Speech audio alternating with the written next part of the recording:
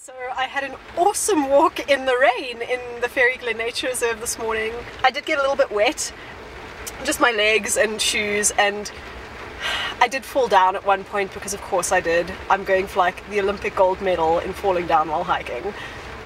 Welcome to Roughing It with Ruth, the channel where everything is a bit rough around the edges.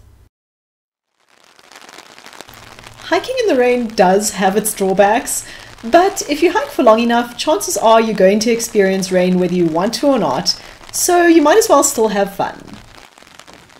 Not many people venture into the outdoors when it's raining, so you might have the trail to yourself.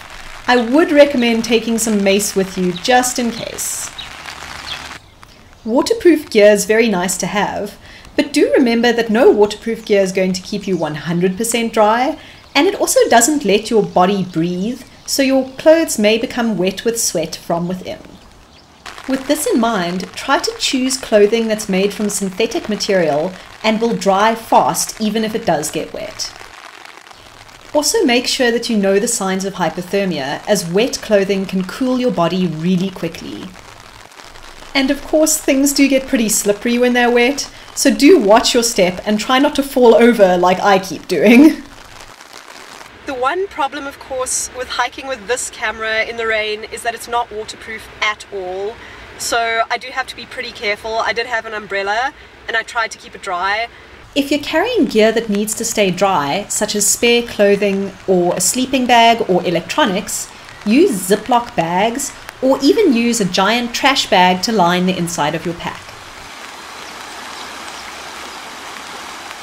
Be careful around rivers when it's raining. Don't get into fast moving or deep water and keep an eye out for flash floods.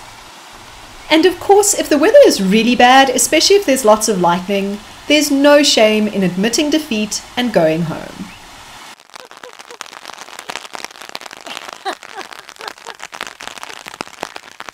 It was just a nice light drizzle when I started.